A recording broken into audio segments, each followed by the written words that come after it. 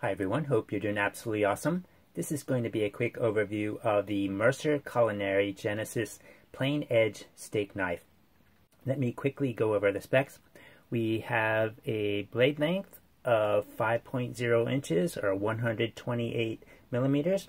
We have a blade stock thickness of about 55 thousandths or 1.4 millimeters and we have a weight of 3.0 ounces or 84 grams.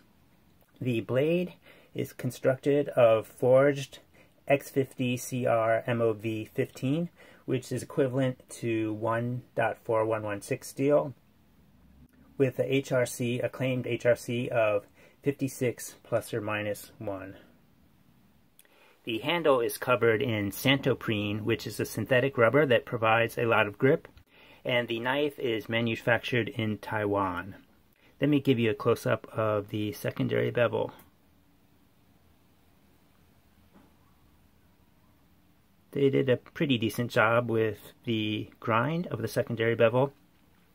However, I'm not a fan of this recurve area in here. You can see there's a slight recurve to the blade, which makes it more difficult to sharpen on a stone. Mercer also makes a 5-inch utility knife, which appears to be very similar, but has a spear point. I'm not sure if the blade stock thickness on the utility knife is the same though. Let's see if it's sharp from the factory. Here's a standard sheet of copier paper.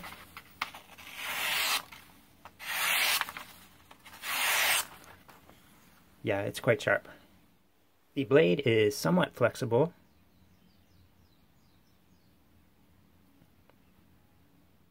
If you have any comments or questions, I'd love to hear from you.